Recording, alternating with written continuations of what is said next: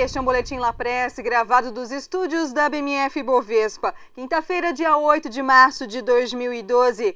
Mercados animados com acordo do governo grego com a maioria dos credores privados e também com decisões de política monetária lá na zona do euro, o Banco Central Europeu e também o Banco Central da Inglaterra, que mantiveram os juros básicos.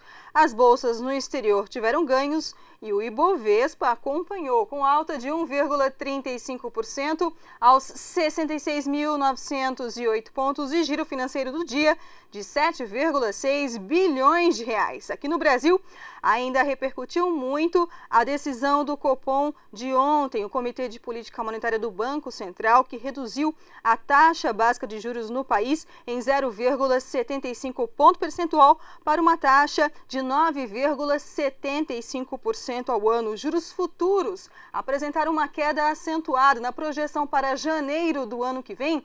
A queda foi de 2,70%, juros futuros projetados em 8,66% ao ano. As ações também tiveram um reflexo, aí sentiram essa decisão do Banco Central, principalmente as ações do setor de varejo. O, as ações do Pão de Açúcar subiram, foram destaque de alta do Ibovespa, com ganhos de 7,34% papel a R$ 86,25. Ganhos também nas ações de construtoras. Desde ontem, Rossi Residencial com alta de 7,12% papel a R$ 11,73. Destaque de queda para as ações da América Latina Logística, queda de 2,41% papel a R$ 9,70. Isso, segundo operadores, diante do resultado ruim da empresa no ano passado e também em função de discussões políticas envolvendo a direção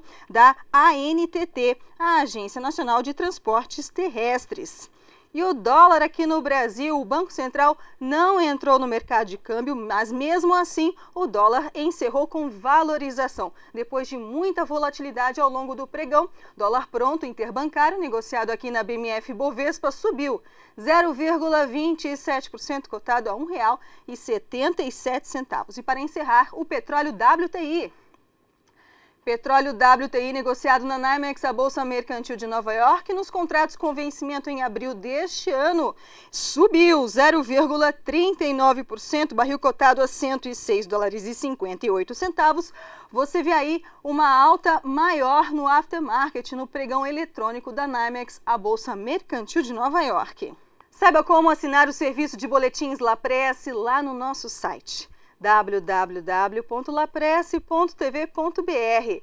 Você também pode ter acesso a informações de mercados financeiro e de commodities pelas redes sociais. Pelo Facebook, é só você acessar a página e curtir La Presse. E também pode nos seguir via Twitter através do arroba LaPresseTV. BMF Bovespa, São Paulo, Brasil, Luciene Miranda.